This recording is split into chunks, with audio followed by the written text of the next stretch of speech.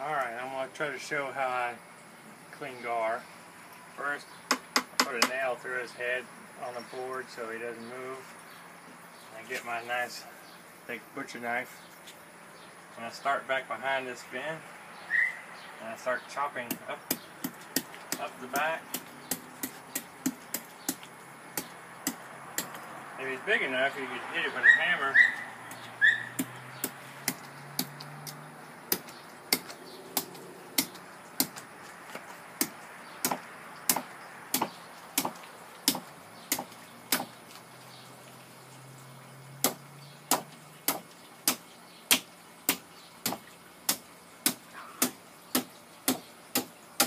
you get all the way up here to the head.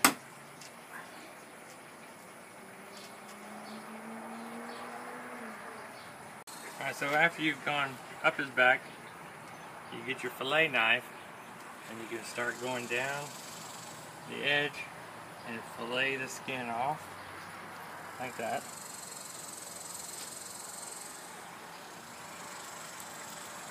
And then you find the backbone and you can just go down and start filleting that meat right off of there. Nice white meat.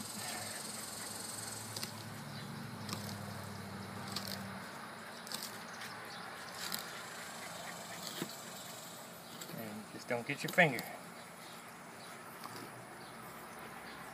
You never even have to look at the guts. You go around the ribs. A nice little piece of meat.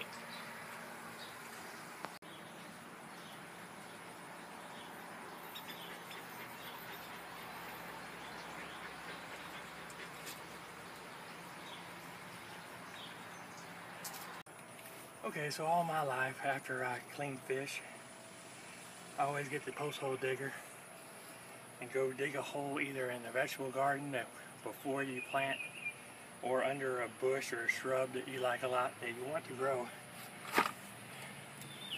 Dig a deep hole. Get on down in there.